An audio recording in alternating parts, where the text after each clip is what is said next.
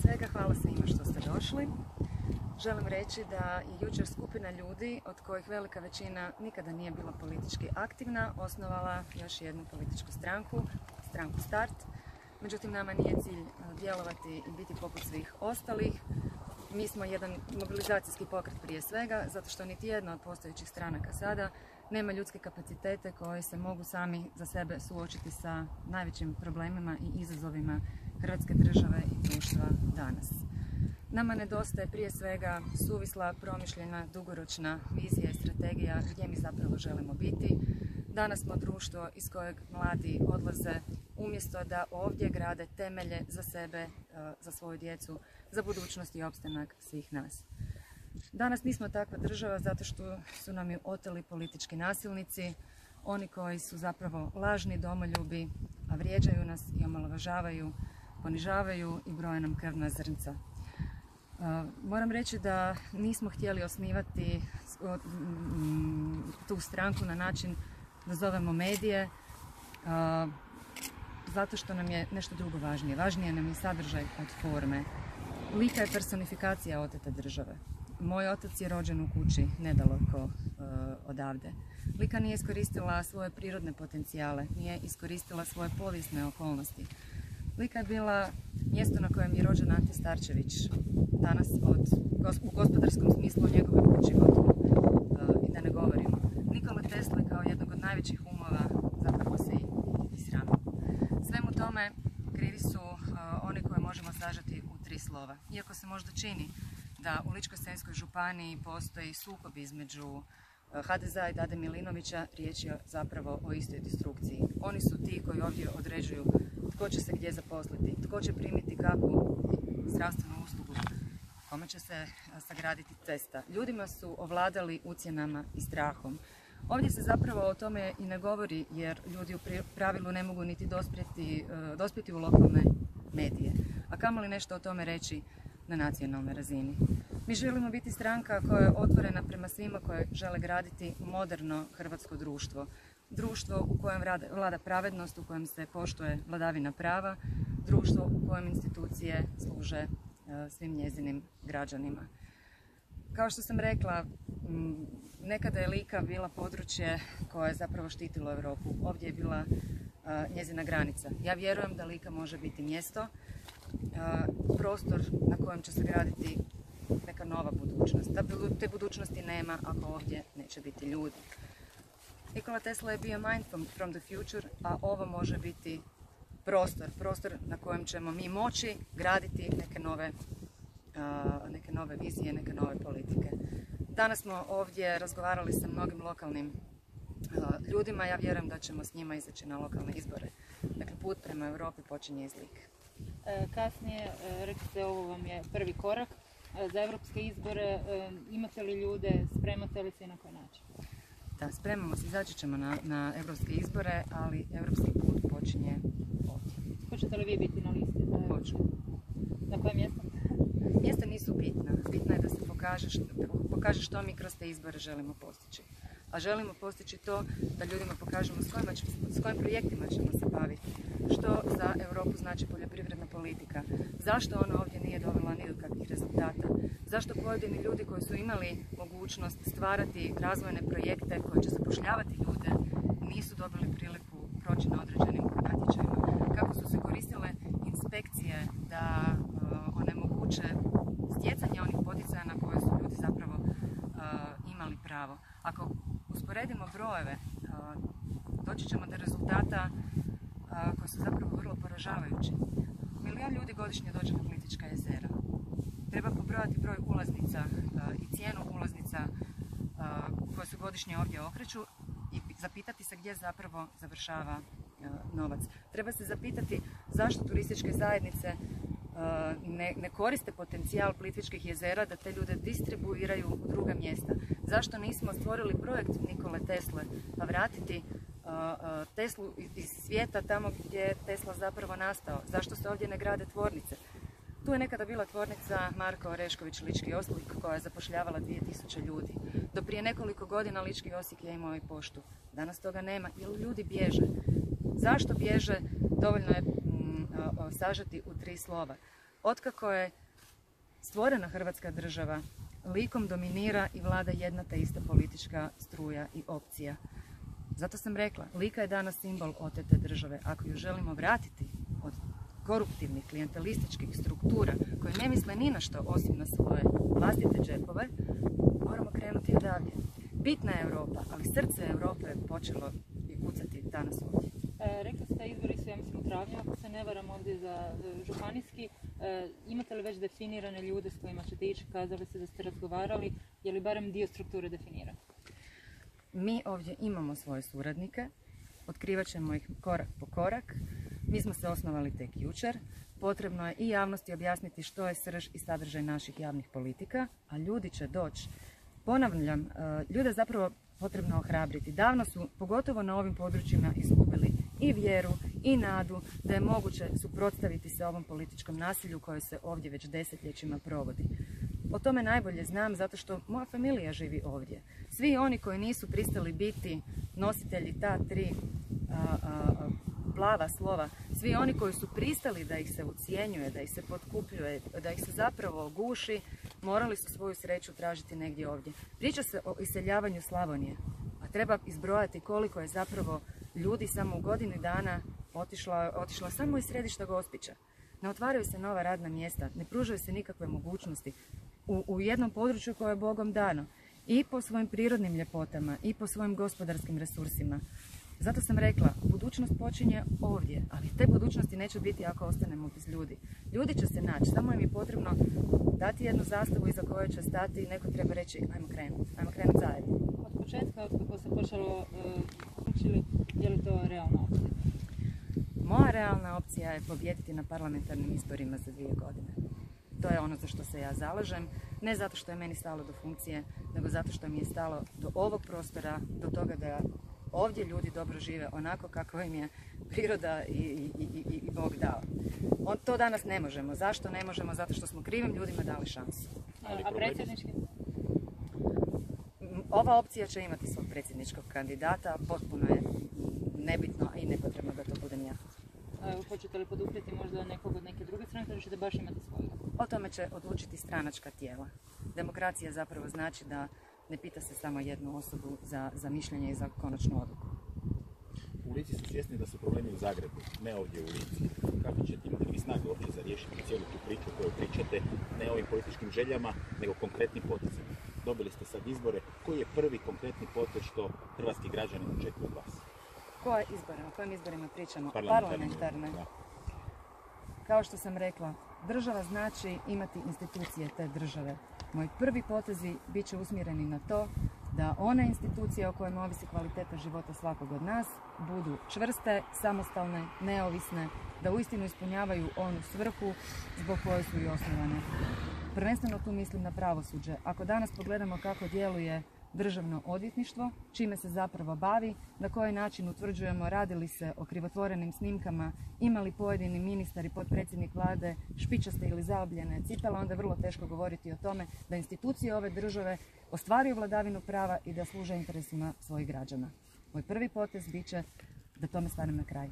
Je li program vaše stranke, barem načelno, e, se može već predstaviti? Da. Program moje stranke se može predstaviti, doslovno u tri posebne grane. Ako govorimo o antikorupciji, to znači rastakanje institucija ovakve kakve su one danas i izgradnja novih. Prvenstveno kroz uh, izmjenu pojedinih zakona kojima se uh, definira djelokrug rada i nadležnosti, zatim kroz drugačiju proceduru i postupke izbora i imenovanja čelnih ljudi i treće kroz uspostavljanje drugačijeg sustava nadzora i kontrole rada tih institucija. Druga grana je razvoj. To znači osmišljavanje dugoročnih strateških vizija, ne samo što će se ostvariti u okvirima mandata jedne vlade, nego ispisati, osmisliti i to u jednom participativnom procesu u kojem će se pitati što o tome misle i neke od drugih stranaka. Gdje je Hrvatska za 5, 10, 20 godina? Mi smo danas neuspješno društvo upravo iz razloga što niti jedna opcija o tome nije čak niti počela razgovarati, a kamali da je nešto suvislo sa argumentima i sa brojevima stavila na nekakav papir. Nešto što je obvezivalo ne samo tu opciju i tu stranku, nego i druge. A treća stvar je transparentnost. Pod tim ne mislim samo na objavu podataka o radu nekog državnog tijela na internetskim stranicama. Transparentnost zapravo znači uspostavu sustava vrijednosti koji danas u državi ne postoji uopće. To zapravo znači da ćemo jedni druge kontrolirati ne samo u tome izvršavamo li svoje ovlasti u skladu s onim što je zakonom propisano, nego kako ćemo se pri tome ponašati. Gdje je danas etika u politici? Gdje je danas osobna odgovornost? Čak i za one najmanje prijestupe u kojemu u jednom pristojnom društvu, modernom društvu, u društvu u kojem se javna dužnost prije svega svača kao odgovornost i obaveza prema onima koji su te tu postavili, to uopće ne postoji. Niti se zapravo propituje. Zato što imamo one koji svoju javnu dužnost shvaćaju prije svega kao silu, kao moć, kao sredstvo, ali ne sredstvo za ostvarivanje ciljeva koji bi predstavljali nekakav opći državni i društveni e, e, prosperitet, nego za ciljeve i svrhu koje služi samo njima. E, vaš politički angažman očekuje se već neko dulje vrijeme. Jeste li u kontaktu s građanima, razgovarali s njima, osjećate li njihovu potporu? Pa ja sam samo radi potpore građana i ovdje. Meni se bilo osobno vrlo teško odlučiti na taj politički korak. Nisam sebe doživljavala nikada kao, kao političara, međutim javnost je zapravo očekivala nekakvu nadu. Neko ko će zapravo djelovati kao da je, da je njima blizak, njima sklon. Neko ko će svoj rad prvenstveno shvaćati kao rad i kao obavezu, a, a, a ne kao funkciju ili personifikaciju te funkcije kao što to danas nažalost možemo gledati na većini najviših e, državnih dužnosti. Da, govorim sa građanima, do sada sam e, e, o svom trošku zapravo proputovala jedan dio Lijepe naše. Htjela sam da moje prvo javljanje, evo ovako kako je, kažem iz mjesta otkud je zapravo i moj otac potekao. Zašto? Zato što oko sebe danas manje više možete vidjeti jednu pustoš. Nekada je ovdje bilo prilično živo. Ljudi su ovdje prosperirali, ljudi su ovdje bili sretni i imali su od čega prehraniti sebe i svoju obitelj, čak i u onim najgorim vremenima. Danas, kada zapravo imamo sve mogućnosti svijeta da od Like stvorimo jednu gospodarski bogatu i moćnu regiju, unatoč tome što koristimo ogromna sredstva iz europskih fondova, nekako ne vidi se njihov rezultat. Zašto? Pa zato što se slijevaju u privatne džepove. Samo da, da tome stanemo na kraj, ja vjerujem da je već Hrvatska krenula nekom odskočnom daskom u svijetlu budućnost dalje. Ali to se neće promijeniti samo zato što će moja opcija ili ja osobno dobiti priliku. To će se promijeniti samo ako u društvu stvorimo kritičnu masu, ako počnemo na konkretnim primjerima pokazivati tko je zapravo stao nekom dobrom projektu ili nekoj dobroj ideji na kraj. Zašto? Puno puta, gotovo na ovim krajevima,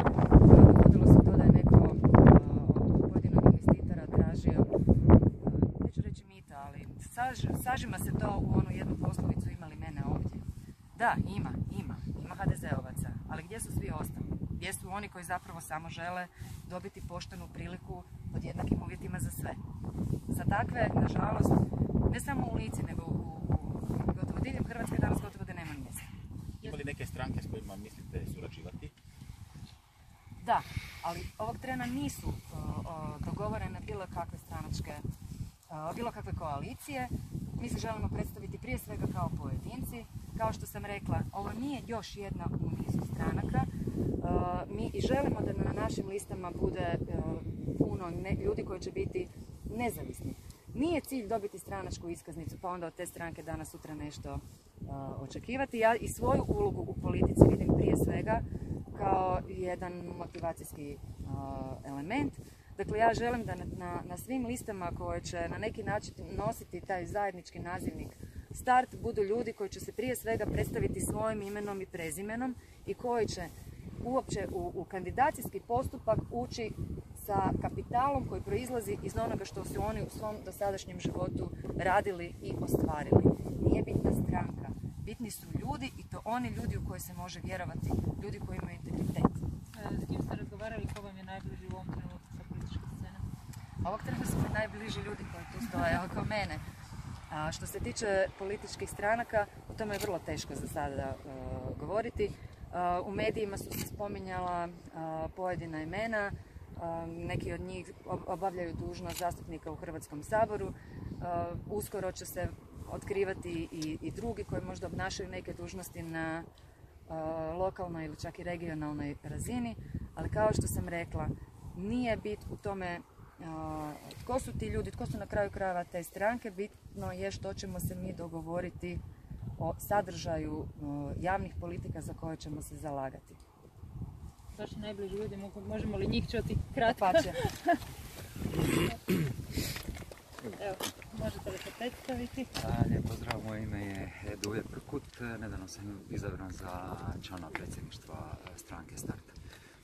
Pitanje ili samo pa komentar? Zbog čega ste se odlučili na politički angaž? Pa ja sam po svom zanimanju politolog, tako da me politika dosta dugo vremena zanima. Zapravo nikad nisam dulje od par sekundi promislio o tome da se u politiku uključim i jedan od razloga je što sam vidio ne samo da stranke nemaju odgovore na ključna pitanja, već da nisu došli ni do tog trenutka da si ta pitanja postave. I zapravo za mene je jako dugo vremena bavljene politikom izgledalo u smislu političkog angažmana kao nešto što nema smisla i zato sam se posvetio tome da budem aktivist. No, kako vrijeme prolazi, e, svjestan sam toga da se približavamo točki s koje nema e, povratka.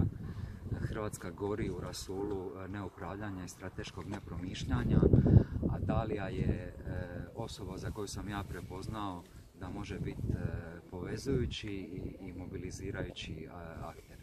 Mi jednostavno trebamo početi okupljati sve one osobe koje imaju ideje i vizije kako Hrvatsku popraviti i otvoriti im prostor da se te ideje čuju. Ne samo dok mi budemo izrađivali svoj politički program, to je zapravo naše obećanje građanima kako ćemo se ponašati kad budemo e, na vlasti. E, mi želimo okupiti u svojoj e, stranci, ovom pokretu ljude koji ne misle da znaju sve, koji se boje donositi odluke sami i koji će zapravo tražiti pamet, energičnost i stručnost u ljudima s kojima će se udruživati to je zapravo jedan novi pristup e, politici i to je razlog zbog kojeg sam se ja odlučio i politički aktivirati. Koje će teme vama osobno biti u fokusu? pa ja sam po svom zanimanju e, politolog, e, tako da je nešto što me zanima kvaliteta strateškog upravljanja, dugoročnog promišljanja i zapravo koordinacije javnih politika. Svi problemi u ovoj državi svode se na javne institucije koje brinu o tim sektorima. Tek kada te institucije uredimo, onda možemo govoriti o nekim drastičnim poboljšanjima koje u tim sektorima možemo e, napraviti. Tako da kao aktivist... Može li nešto konkretno, a ne samo javne politike, to je konkretni nekakvi potezi što mislite da je nužno napraviti državu? Pa evo, postoji jako puno konkretnih primjera koji ukazuju na to da postoji osnovstvo tog strateškog promišljanja. Evo jedan mali primjer je spomenuli smo i Plitvička jezera. Mi o projektu Plitvičkih jezera moramo razmišljati na koji oni način mogu doprinijeti razvoju lokalne zajednice. To znači da Plitvička jezera nisu pitanje samo turističke politike, to znači da su oni pitanje i lokalnog razvoja i poljoprivredne politike, pa ako hoćete i energetske politike i politike upravljanja s vodama. Uh, hidroelektrane koje se u Hrvatskoj trebaju izgraditi ne možemo ih gledati isključivo kao pitanje energetike moramo ih gledati kao pitanje samostalnosti u vanjskim odnosima. Moramo gledati koja je uloga tih elektrana u kontroliranju poplava.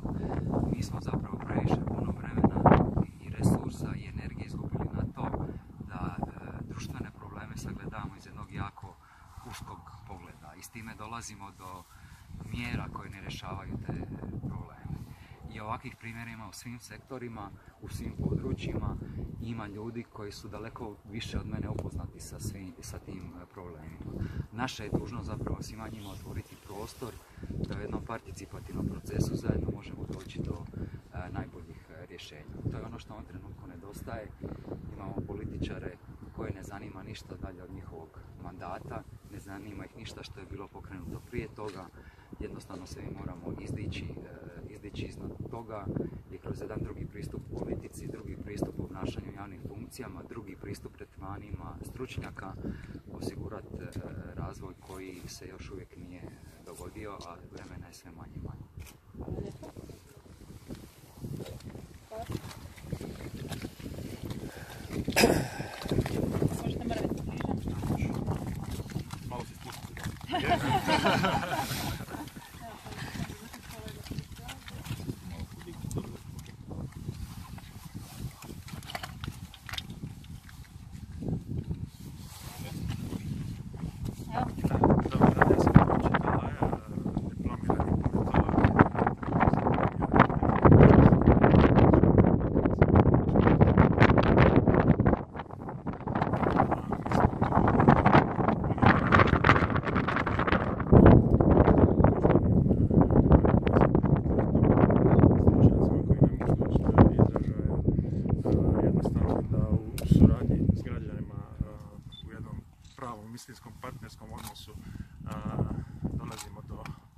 Javnih politika, ovo što danas imamo je po mom mišljenju stvarno katastrofalno, zato sam se odlučio i angažirati.